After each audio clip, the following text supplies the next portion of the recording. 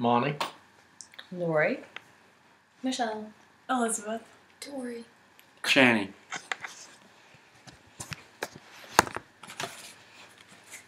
My name is Elizabeth Copeland. I'm 19 years old. I'm a part time student and I work part time job at Tulsa Spine Hospital as a phlebotomist. I grew up in a town where life was simple and easygoing. When I was in third grade, a new girl moved down the street named Mariah. I found out that she was in my class and she act- and she sat in the seat in front of me.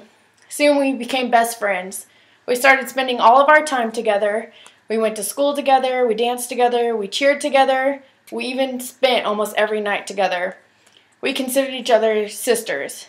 When I was in sixth grade, I found out that my dad had taken a job in Owasso, Oklahoma.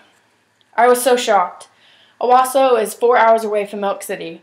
When I knew that I had to tell Mariah, I felt like my life had shattered. How was I supposed to leave the only life that I have ever known to live? I moved to Elk City when I was one year old. When we moved to Owasso, I felt so alone. I had to start going to a school with 600 kids, and on top of all this, I tripped, fell, and cut my finger open, and ended up having to need surgery. Great. Now I was the loser with the cast, and of course, I didn't have any friends to sign it. The only thing that was keeping me sane with, in all this mess was that I got to video chat with Mariah time to time. My mom had pushed me to get back into cheerleading since I'd done it in my old town. I was stubborn at first, but because I thought that that was just me, Mariah's thing. But eventually I gave in and I made a couple friends along the way.